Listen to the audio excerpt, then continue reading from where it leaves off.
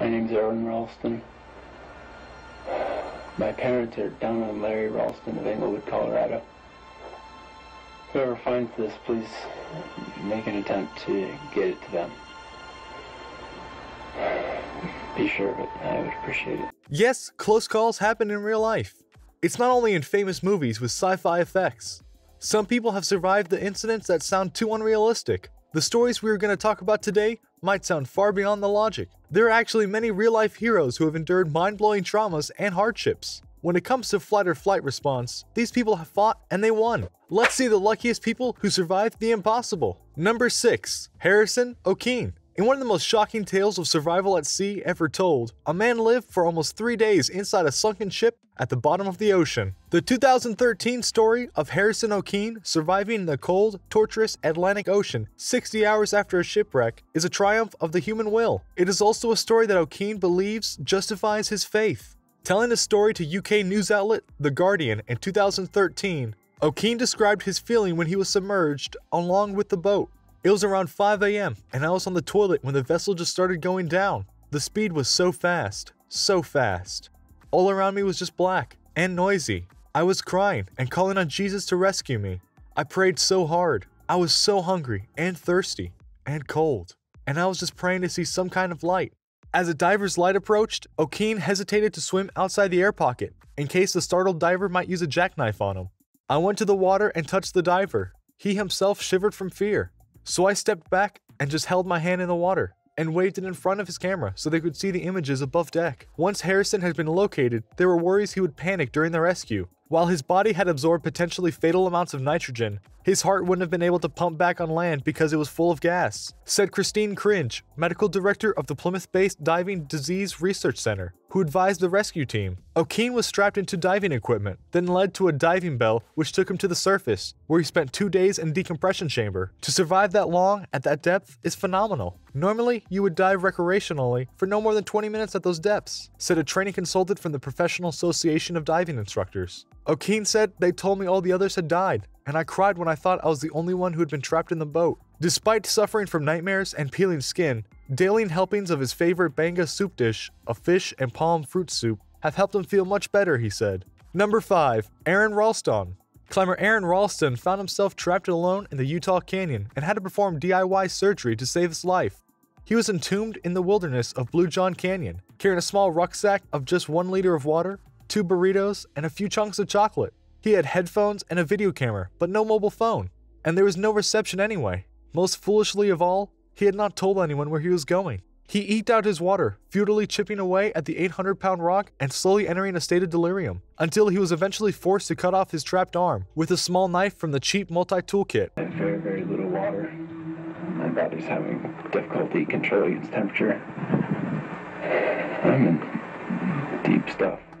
He had just attended the London premiere of 127 Hours, Danny Boyle's film about his extraordinary escape from certain death. When his blunt knife pierced his skin but came to rest against solid bone, Ralston thought he had no chance he could perform the gruesome amputation that would save his life. But he did it, and for six days, Ralston kept himself alive with fierce self control and conviction that only logical thought could let him survive. The entire process took an hour, during which Ralston lost 25% of his blood volume. High on adrenaline and the sheer will to live, Ralston climbed out of the slot canyon, rappelled down a 60 foot sheer cliff, and hiked 6 of the 8 miles back to his car, all while severely dehydrated, continuously losing blood, and one handed. Four hours after amputating his arm, Ralston was rescued by medics. They believed that the timing could not be more perfect. Had Ralston amputated his arm any sooner, he would have bled to death. Had he waited, he would have died in the canyon. And I wasn't even attached anymore. And I fell down like this, and I, I, uh, I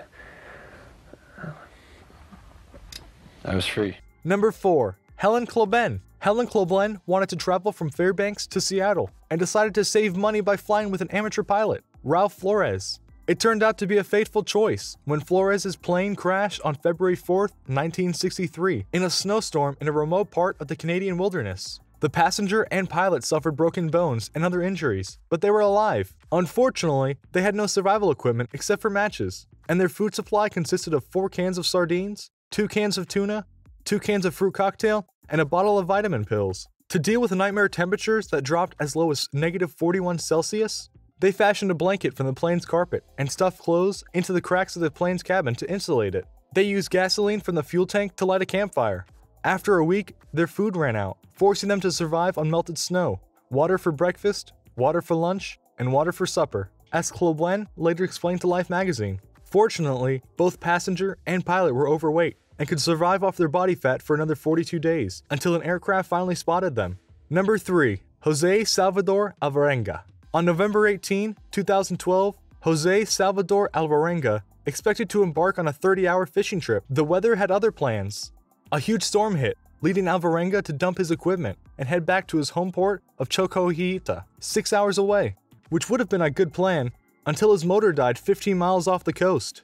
With no motor, they rode out five days of storms that wound up depositing them 280 miles offshore, thus beginning a journey over a year, fighting starvation, thirst, and the sun.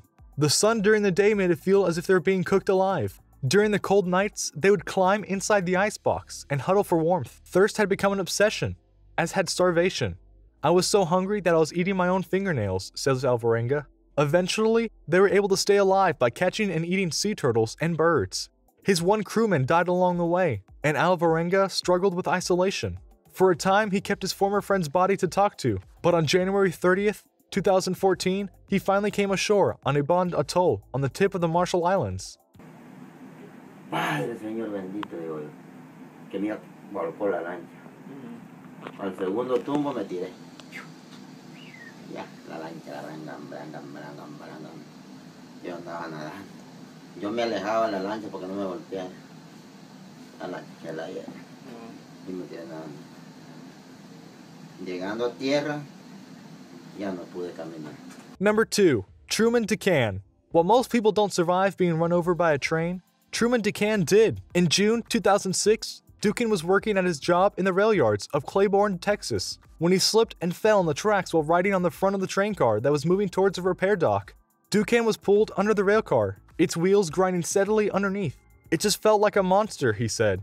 I couldn't get away from it, like it was just pulling me in, and I'm pushing away, and I was cutting too, he said. By the time the rail car came to a stop, Duncan had been dragged 75 feet. His lower body was still entangled in the wheels of the train, and he was cut nearly in half at the waist. With one leg attached by a single muscle, he knew he had to fight to stay alive. I knew if I just lay there and lay there and lay there, eventually I was gonna die, he said. But if I stayed awake, made sure I got help, then there was a possibility that I would live, and that's when I realized that I might have my phone on my hip. He reached for his cell phone and called 911. He lost half his blood, but when he was delivered by helicopter to the hospital over an hour later, he was still alive. According to one of his doctors, he was torn down to just literally one cell layer of tissue between his abdominal contents, his intestines, and the outside world. Duncan lost his legs but survived the ordeal. Number 1. Genelle Guzman McMillan. On the morning of September 11th, 2011, Genelle Guzman McMillan was at work at her office on the 64th floor at the World's Trade Center North Tower when the building was struck by American Airlines Flight 11. As she later recalled in a newspaper interview, at first, there wasn't any smoke or fire. The company she worked for told her to stay put and wait for help, but after an hour, she decided to head to the stairwell. When she descended to the 13th floor, Guzman McMillan bent over to take off her shoe, and then suddenly, a wall collapsed on her. Her feet were pinned, with her head trapped between two pieces of concrete. The only thing she could move was her left hand. She opened her eyes, but everything around her was black. Time seemed to stand still, and she remembers praying for respite from the pain. After 27 hours, she heard the voice of a man named Paul, telling her to remain calm, that rescuers were on the way. Guzman McMillan had been spotted by one of the 300 search and rescue dogs deployed after the disaster. She was the final living person rescued from the wreckage. Guzman McMillan tried to find Paul afterward to thank him, but no one knew who he was. Do you believe in fate? Let us know in the comment section down below. Make sure you subscribe to our channel and turn on your post notifications so you never miss a video from us. If you liked this video, don't forget to give it a thumbs up. See you in the next video. Thanks for watching.